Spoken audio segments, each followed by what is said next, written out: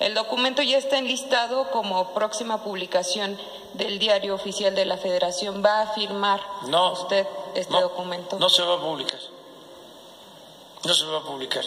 Porque la instrucción es de que no se utilice ese agroquímico ¿sí?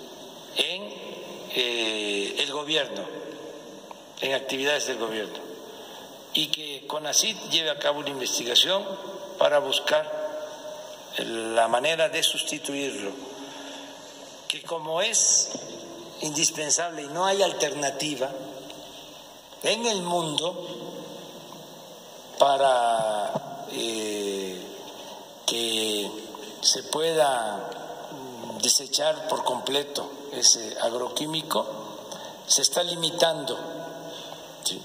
Eh, eso fue lo que acordamos, eh, el volumen de importación. En la medida que tengamos opciones, eh, se va a ir eliminando por completo. Pero en el gobierno queda prohibido usar ese agroquímico. Es decir, en Sembrando Vida, que se están cultivando un millón de hectáreas de árboles maderables, ese agroquímico no se usa, no se puede usar. Lo otro, sí, eh, no al maíz transgénico. Sí. Qué bien que me lo planteas, porque aquí en el gobierno nuestro,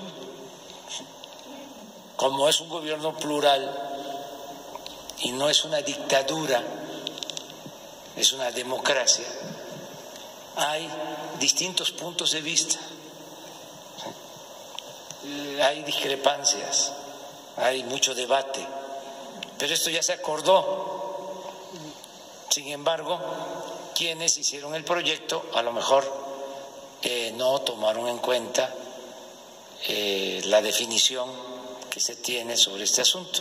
Pero mira, tú vienes este, oportunamente a avisarnos.